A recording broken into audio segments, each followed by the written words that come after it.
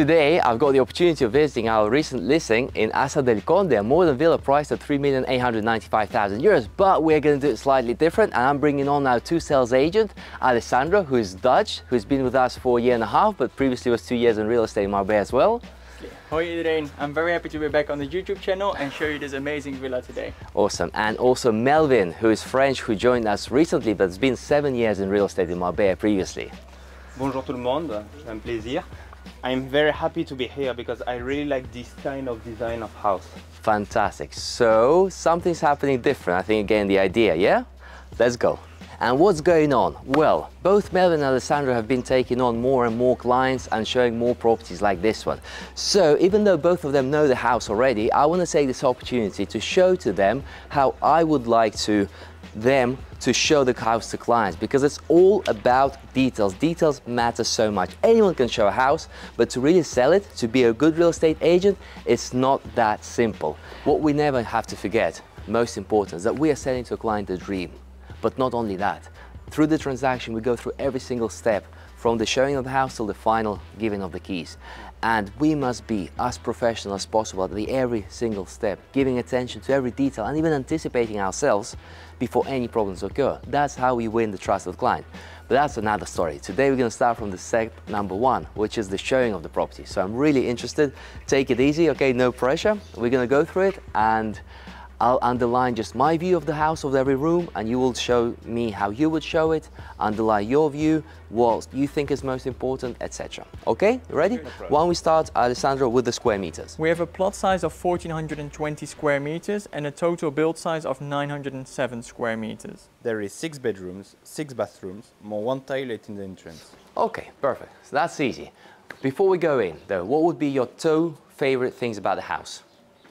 So my two favorite things would be definitely the location and the architecture of this house because I think this is really special type of architecture.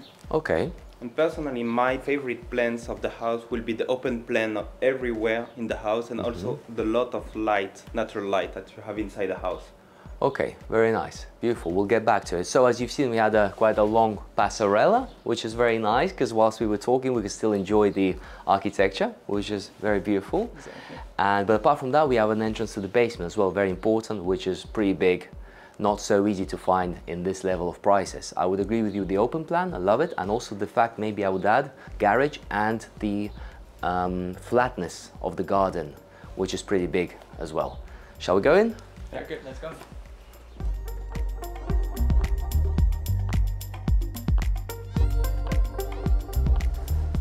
So, we're almost straight in the living room and the living room in this house is one of the most special features of the property for sure.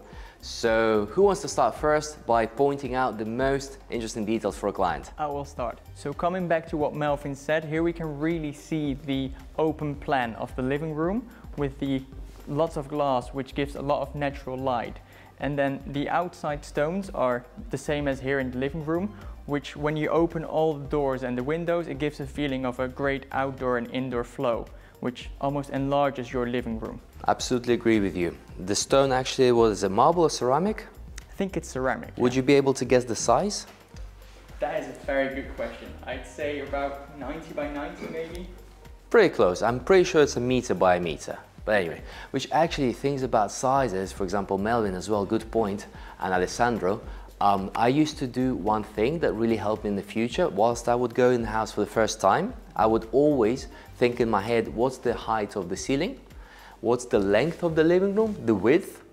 Then I would repeat the same experiment with the pool, with the bedrooms. I would have like a special laser that after I would say the numbers in my head, well, it kind of looks a bit awkward with the owner maybe when you, but you can explain actually, you just pull out, you check, and then you solve, you fail, you fail, but then every time you get uh, the meters right.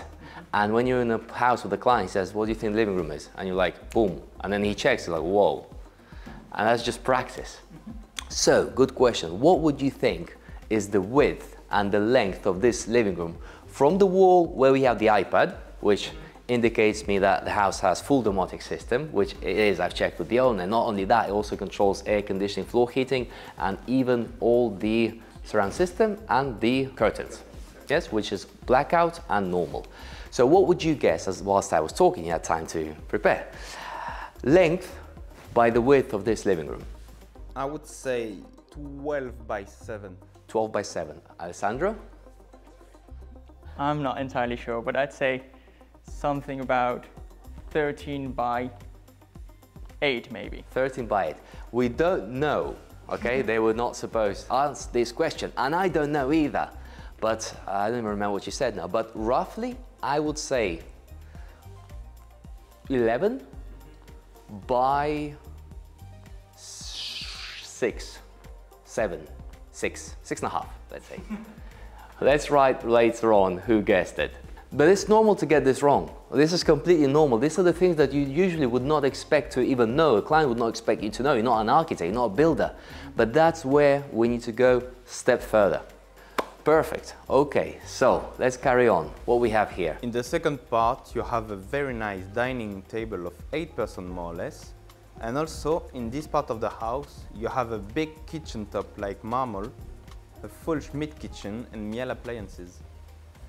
Okay, very nice. Yes, a lots of surface, you're right. Beautiful view, by the way, through the window. Yeah, exactly. Details like that. And pretty much I would say that the fridge is not standard. It's no, double. It's, it's, it's very exactly, big. It's a double size uh, fridge. As you can open, it's easily 1 meter 90, which is a Miele appliance also. And with the window just behind you, it's for me a plus for the natural light coming inside the house. Yeah. As I mentioned when we came in, this living room to my feel is like one of the most special features of the house. There's so much light coming in. Also, I love how they architect, even though it's already open plan, but he still integrated the lobby and the staircase visually as part of your living room so that when you're here or you're sitting on the sofa, it feels even more yeah. bigger. That's the thing also that many times when we deal with clients, when they see at houses from plans, uh, especially if they're not built yet, and they calculate the square meters of the living room, but it's really difficult to imagine all the other extra things that can be done to make it feel much bigger. Will be interesting to see who got the meters right, and I really recommend you guys to practice that skill over and over and over again. It really is an impressive one when you get it right all the time. And same thing actually happens with the square meters of the lot and the square meters of the house built. Many times you see a house when you're to list it before you even know any details about it, right? And then the owner says, well, he, typically he would say, what do you think about the price, right? He won't say, what do you think how big my square meter? But then you can say, I think it's 3 million, 4 million. But, or you can say, you know, I guess your plot is 1,300 square meters. Your house looks like it's about 385 to 400, more or less. So therefore the price is this. Again, boom. It's like, no one does that. Little details, but that is the difference. So, another quick question, because I'm all about these details and all these things. How long is the pool? That's a good question. I would say 12 meters. I'd say about 13. Okay, I'll go for 13.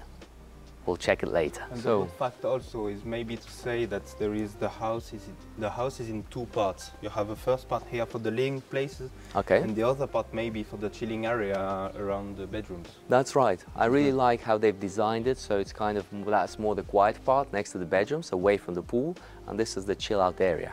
Also, I can notice there's a door there. That's for the gardener most likely. Another nice detail. He can go in straight in here. Don't have to walk all the way as we did which is very practical. And for example, one of the suggestions I would have, if you're going to be bringing here clients all the time, would be very nice to speak to the owner who was the builder yep. and find out an estimated budget to put glass on top of this pergolas. Because there's so many of them, I'm sure every two second client that comes in, he will be saying potentially he's interested in covering this to make it more usable, right? And therefore, instead of let's anticipate, yeah? yeah? straight away. It costs 22,000 euros to cover this whole thing in glass, all of it, for example. Mm -hmm. Yeah? It's good to anticipate this kind of things and then it's much more helpful as well. Any other things that you want to underline about this terrace or about this outside area? There is definitely a lot of seating areas, which is nice because everyone has kind of their own separate space. And I think the barbecue area has been really well done as well. Absolutely. Actually, now that I'm standing here, it's really funny. This house over here, we had it listed um, maybe about four years ago. It was actually, we had a video on it on our YouTube channel and that video had the most number of views of all the videos that we had That's back right. in those days. That's pretty funny. And we had it listed um, somewhere around 3.3 million, I think, or 3, do you remember, Alessandro? I think it's between 3.3, 3.4, something 3.3, like 3.4. The square meters are exactly the same, yeah? This was approximately four, five even years ago, okay? So that already gives me an indication that, um, an indication that if that house for the same square meters was for sale 3.3, 3.4, this one, 3,895,000 euros, four years later in an already completely different market with the same square meters, newer, fully furnished, seems like a really attractive price, right? Again, how do I know this? From the years of experience, from knowing the market, from going into every single house and remembering it as well. That's what also marks a little bit of difference. So that already indicates a good point. And when you speak to a client, it's a fact that can help you also in the negotiation. Mm -hmm. And coming back to the architecture, there is a possibility to make a winter terrace close by the glasses. Yes, absolutely, definitely. Okay, what else worth mentioning out here? One more thing that I wanted to mention as well, that for a newly built villa, the gardens are very mature, which is a very nice feeling as well while you're in the garden, because it gives a lot of privacy first of all, some shade, and it looks good in general. Absolutely. Speaking about the gardens, making mine like we are very close to the Los Naranjos Golf also, which is a good point of the house. And speaking a bit more about the location, what do we have? So we're inside of Haza del Conde. It's on the upper part of Nueva Andalucía, very close by, just under La Quinta area. Said, very close to the golf courses. And it's about five to seven minutes away by car from all amenities. You do kind of need a car because it can be a little bit steep. Um, and then of course, we have a neighbor here as well, which is listed for 17.5 million, which is always a good neighbor to have as well. That's the interesting part about the location that I was waiting for. I mean, you have a neighbor of 17 million euros to a house of 3 million, almost 4. You want to mention that to the client. The bedroom. This is one of the six bedrooms that you have in the house, which is everything in the gray tone It's easy for the buyer to Absolutely. change the design if they mind or yes as they want. You have a nice wardrobe behind me and a nice also bathroom with a LED system of light. Awesome. Ale, what about the other bedroom? I'll show it to you right now. So coming into the second bedroom on the ground floor, again we have coming back these grey tones and then we have the bathroom here which are more earthy tones with a sink stone, which is a pretty fun feature, some LED lights which look really good, and then it creates a real cozy and nice vibe in this bedroom.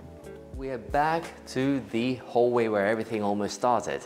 So, another important detail, we've got two bedrooms on this floor, so two bedrooms upstairs and two bedrooms in the basement, which works okay. Please? Coming this side, you will see a double height ceiling full of glass and also these very nice olive trees in between the two wings of the house which separate the two terraces of the bedrooms. Okay, we've got a skylight and there's one bedroom over here which feels slightly spacious than the ones downstairs. The bathroom's a little bit bigger. Also, as it's more elevated, it's got much more natural light through the floor to ceiling windows which make a corner in this case further light as well. Same amount of wardrobe space more or less, again beautifully decorated and overall a great feeling. And on this side we have the master bedroom.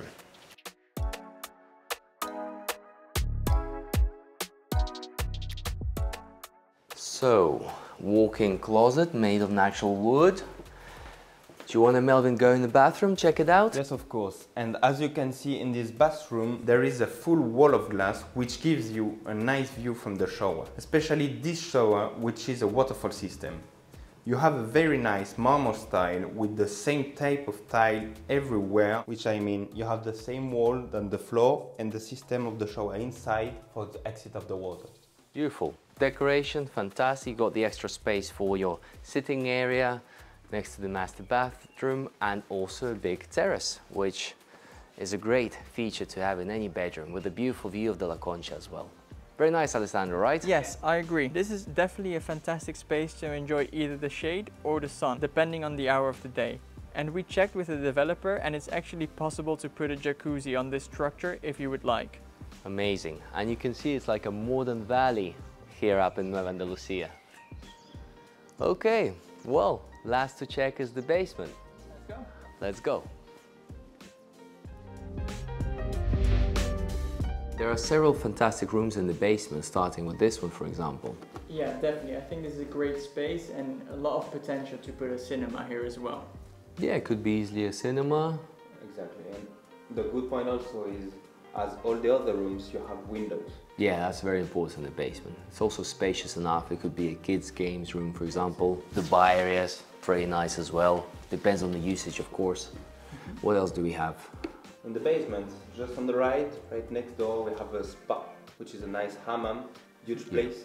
There is a lot of space inside with a toilet and a shower. Yeah, that's important. And also the hammam is very special, very beautifully done and very spacious, bigger than you would usually see in private houses.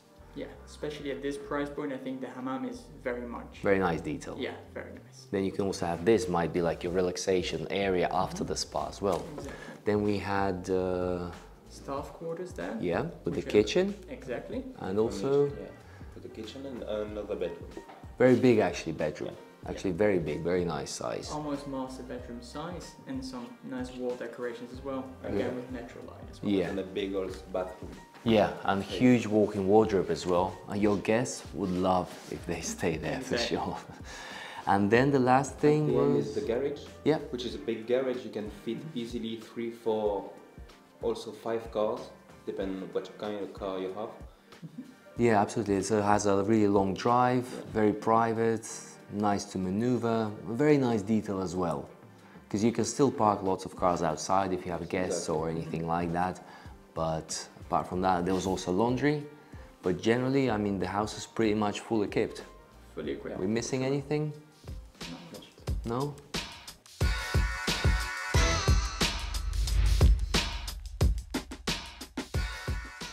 Thank you very much for watching. I hope you enjoyed this tour with us. And don't forget to subscribe and hit the like button down below. Well, this was a cool experiment. I enjoyed it a lot. Let's see what your comments will be about. We are also happy to receive criticism, no problem at all. And we see you very soon. Exactly. Guys, amazing.